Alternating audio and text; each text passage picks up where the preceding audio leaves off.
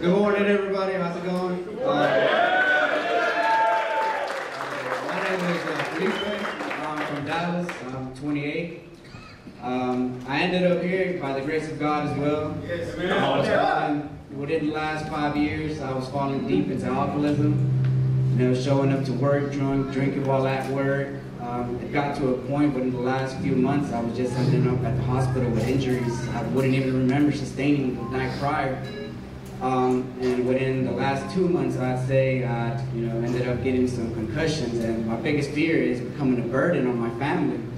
I would have rather probably either preferred death rather than being having to have my mother every day look after me for a child that she knows. She, you know, she went through a lot to put me through school. Um, right after graduation, I stayed stagnant, stayed at the same job, and I guess alcohol was just an escape from everything.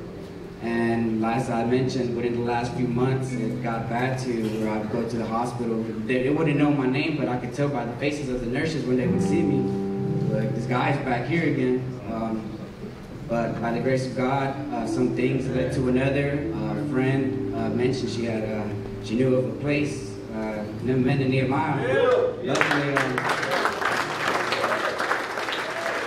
My family had a small intervention with me. Uh, luckily, I have their support.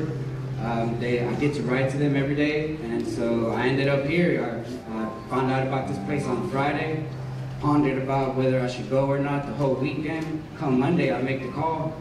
Uh, I think it was Miss Myra who was the attendant over at the HQ, and she just mentioned, yeah, uh, just come on over. I had no idea this is my first treatment center. Uh, you know, being having no insurance, I was afraid I had no money. Most of it I would just spend on it on alcohol. So I had nothing saved up, nothing for, to get help from rehab.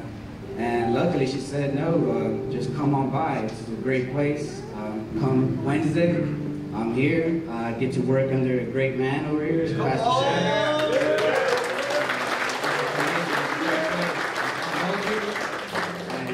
And hopefully, with the plans I got in mind, everything goes great.